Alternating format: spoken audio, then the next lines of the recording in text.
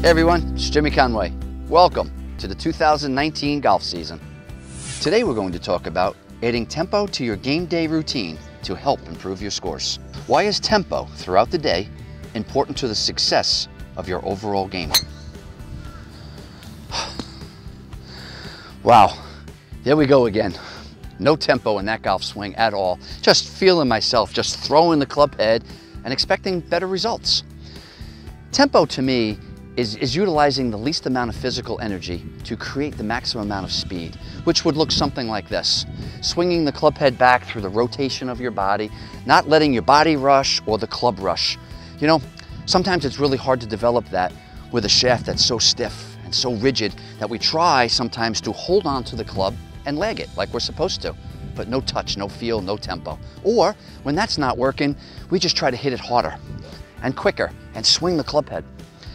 What I've come up with over these last couple of seasons, and it's really, really helped me gain a lot of tempo and always know where the club head is in my golf swing, is this swing trainer.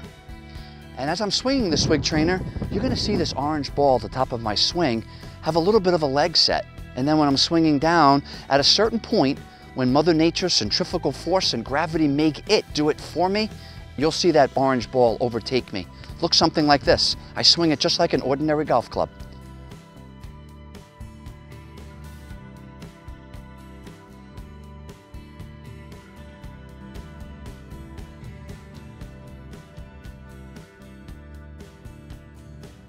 Hopefully you can see in those practice swings that nothing was working any harder. My body wasn't moving faster than this. Everything was working in sync in a very, very rotational manner. This also helps you for flexibility, for working. When you feel when your shoulders are completed, then you start the golf swing down. A tempo is a two-part move, going back one and coming down two. We don't want to rush anything. Tempo is the key to solid ball striking. What I like about aids like this is you don't have to be at a driving range. You can practice this three, four, five minutes a day, every day. And then when you get to the golf course, as you're hitting golf balls, you have a little muscle memory. You can feel yourself setting that orange whip coming down and through. You have to put the time in and you have to get results, emotionally, mentally, and physically, in order to make the results change.